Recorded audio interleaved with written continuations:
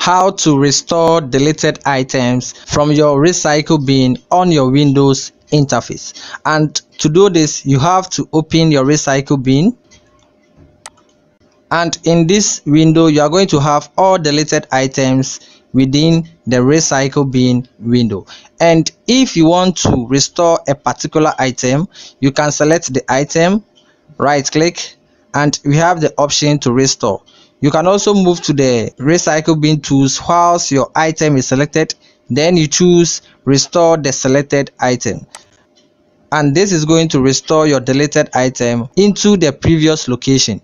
Another way to restore all items is to move to the recycle bin tools and choose restore all items. And you have this window that says are you sure you want to restore all the items from the recycle bin? You can choose yes or no depending on your requirement